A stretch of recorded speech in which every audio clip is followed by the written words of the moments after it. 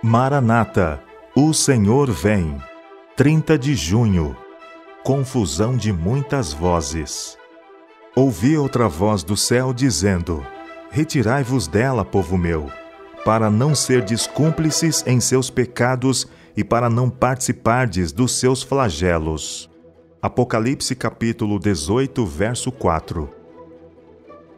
Na última obra para a advertência do mundo, são feitos às igrejas dois apelos distintos. A mensagem do segundo anjo é: Caiu, caiu a grande Babilônia, que tem dado a beber a todas as nações do vinho da fúria da sua prostituição.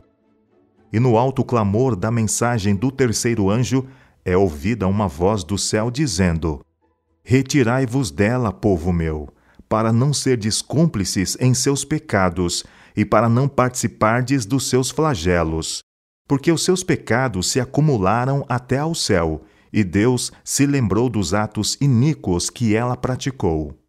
Assim como Deus chamou os filhos de Israel para fora do Egito, a fim de que pudessem guardar o seu sábado, ele chama também o seu povo para fora de Babilônia, para que não adorem a besta ou sua imagem. Depois de a verdade ter sido proclamada para testemunho a todas as nações, será posto em atuação todo concebível poder do mal, e as mentes serão confundidas por muitas vozes clamando: Eis aqui o Cristo, ei-lo ali, isto é a verdade. Tenho a mensagem de Deus. Ele enviou-me com grande luz. Serão removidos então os marcos, e far-se-á uma tentativa para demolir as colunas de nossa fé. Será feito mais decidido esforço para exaltar o falso sábado e lançar desprezo sobre o próprio Deus, substituindo o dia que ele abençoou e santificou. Esse sábado terá de ser imposto por uma lei opressiva.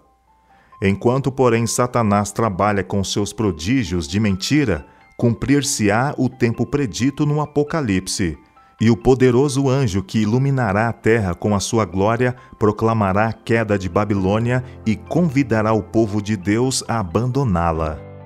Quando os seus pecados se acumulam até o céu, quando a lei de Deus é finalmente invalidada por legislação, então a situação extrema do povo de Deus é sua oportunidade para mostrar quem é o governador do céu e da terra.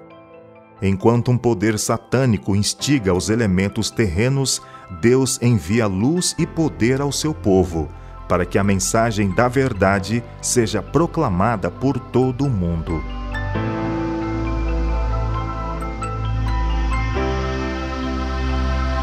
Ellen G. White Meditações Matinais Maranata O Senhor Vem, de 1977